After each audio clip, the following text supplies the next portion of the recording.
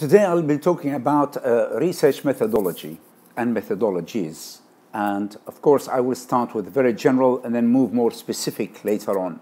So I will do it in 10 uh, different uh, parts I will record separately. Today, I, or, or, the first episode, will be about uh, just two main studies in research methodologies which you need to be aware of, uh, and they are ontology and epistemology.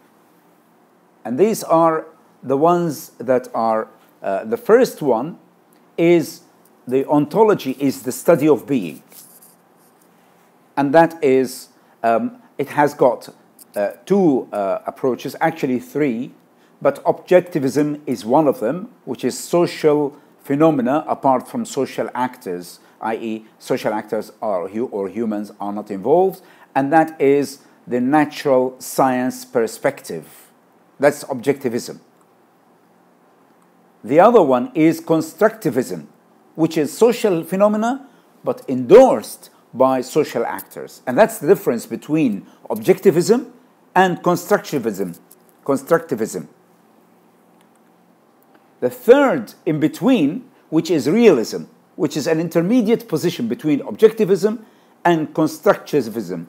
Constructivism, which that means that that can be known through the senses uh, or different structures and mechanisms.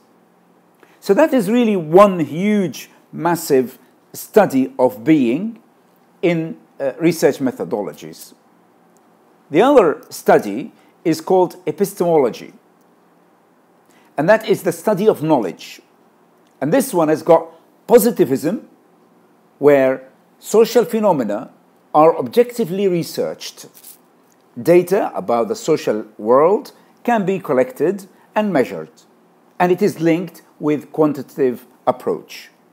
Quantitative approach, uh, this is something uh, I will uh, uh cover later on. Quantitative approach and qualitative approach, I will describe them and explain them in another episode, which I will record later on in this uh, series of uh, research methodologies.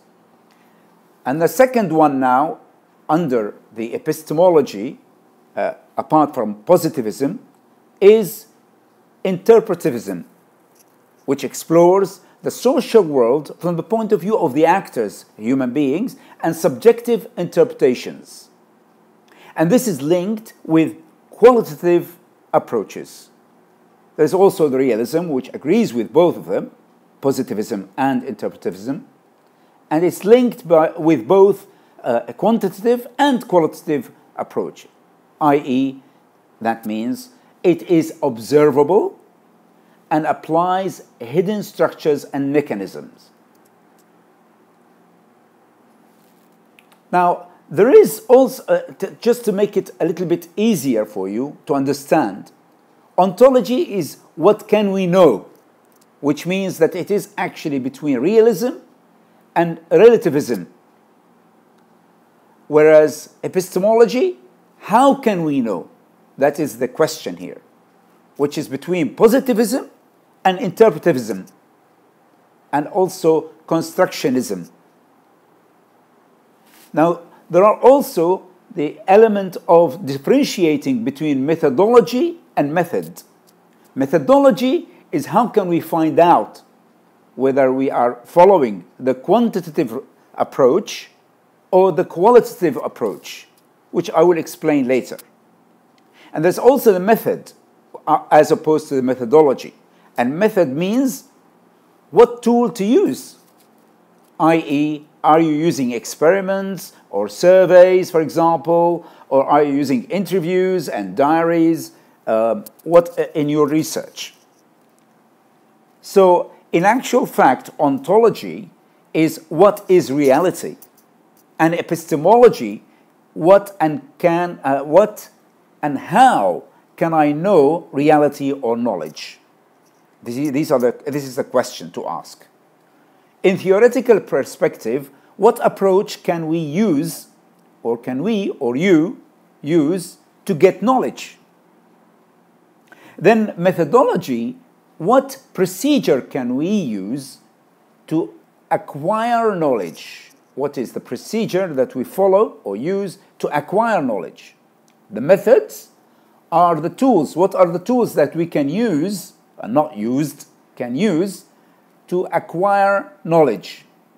And lastly, um, with regards to uh, the sources, what data can we use?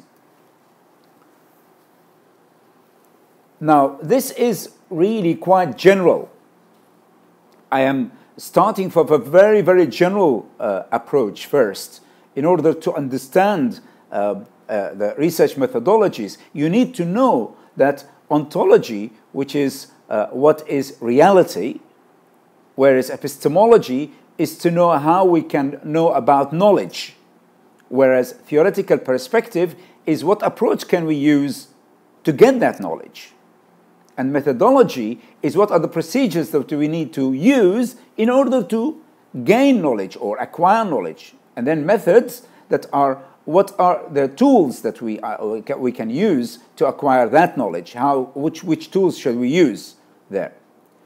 And then, of course, finally, is to talk about the sources. What data can we collect in, from the sources? I hope that this is quite a general, and I'll be more specific in the next, in the few uh, recordings about uh, research methodologies today.